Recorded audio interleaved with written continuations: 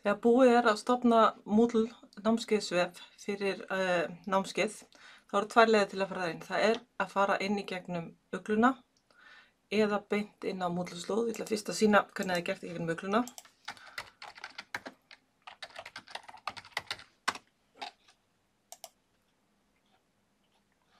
Finna námskeið sem umræðir. Ég, hérna er námskeið sem að ég er komin með Moodle vef og þá sér maður hérna efst uppi þegar maður er búinn að opna námskeið þá stendur skoða Moodle vef námskeiðsins og það tekur mann inn í Moodle vefin og síðan er önnu leið að það er að fara inn á moodle.hi.is og þá eru þau námskeið sem maður er búinn að búa til hér. Það gæti verið að þegar er komið hér inn að það er eftir að logga sinn.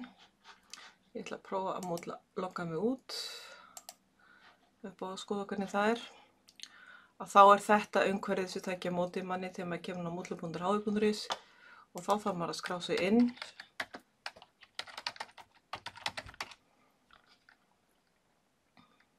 og stundum þarf maður að skrá sig aftur inn uglumegin og þá er maður komin inn í sitt umhverfi og getur valið þau námskeið sem maður er skráður í. Vona þetta hjálpi.